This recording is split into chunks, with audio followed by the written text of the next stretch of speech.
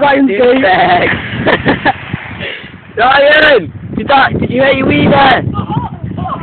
Yeah. Ryan! Did you hear your wee there?